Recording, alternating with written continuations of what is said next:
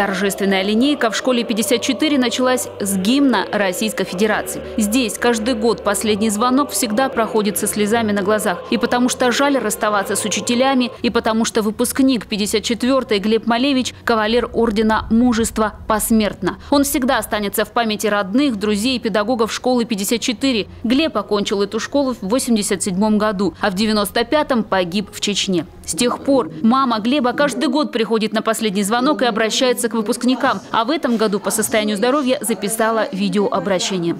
Кончил благополучную школу, без строя, без... э, Не на одни пятерки, конечно, но 4-5.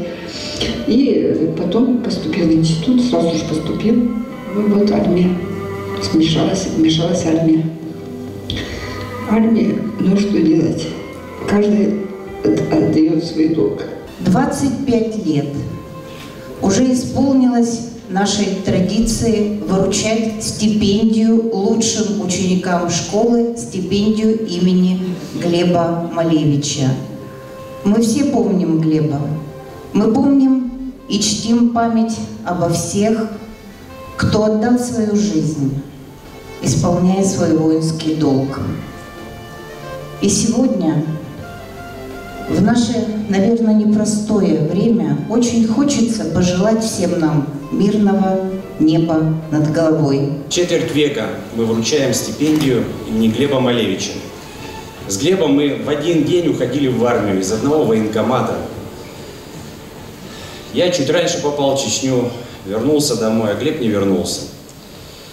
И вот э, я очень благодарен нашему профсоюзу ОКП-123.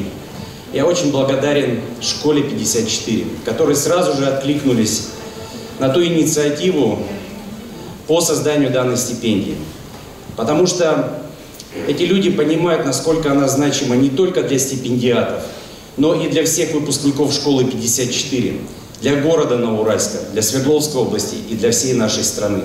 Каждое слово, каждое выступление, обращение почетных гостей к выпускникам было пропитано духом патриотизма и гордостью за таких людей, как Глеб Малевич. Мирного неба над головой – это самое актуальное и необходимое сейчас всем пожелание. И пусть эти ребята живут в мире и согласии, пусть строят планы, создают семьи, рожают детей, развивают родной город и не забывают школу. И очень важно, что благодаря школьному образованию, воспитанию на примере старшего поколения растут такие юные патриоты своей родины. Лучшим ученикам 54-й школы сегодня вручали стипендии имени Глеба Малевича.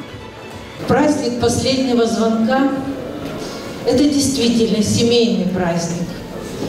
А в вашей школе вы большая семья. И поэтому сегодня все случилось так душевно. Я думаю, что вот это ощущение плеча друг друга, гордости за друг друга пронесется сквозь года. Это, наверное, приятная грусть, потому что мы прощаемся со школой, со школьным временем. А, это радость, что мы видим всех собравшихся в зале. Это родители, учителя, наш класс, наши одноклассники. А, ну и, конечно же, это, наверное, радость за то, что я смогла достичь тех а, целей, которые ставила, и в этом мне помогла школа. Безусловно, хочу поблагодарить э, весь педагогический состав, нашу классную руководительницу э, Людмилу Владимировну. Спасибо большое, что столько сил в нас было вложено, э, времени. Мы не то, что я, мы всем классом благодарны, очень любим нашу классную руководительницу. Честно, не верится, потому что я, наверное, этого момента ждала все 11 лет, так как я с первого класса учусь в своей любимой 54-й школе, и у меня как-то еще нет осознания того, что все, я выпускница, впереди у меня только экзамены и поступление в институт. Последний звонок в Новоуральской 54-й школе всегда особенный. После торжественных речей из актового зала ребята отправились во двор школы, чтобы высадить деревья. Это тоже давняя традиция, зародившаяся 25 лет назад. Рябинки выпускники высаживают в память о Глебе Малевиче и о тех ребятах, которые мужественно и героически стоят на защите своей родины. Впереди у выпускников ЕГЭ, затем поступления в ВУЗ, они, конечно же, достойно преодолеют этот этап, потому что новоуральское образование, наши педагоги не только учат разным наукам, но и достойно преодолевать любые трудности. Успехов вам, выпускники, и в добрый путь. Наталья Рау, Виктор Малышев, Иван Вахмяков. Новоуральская вещательная компания.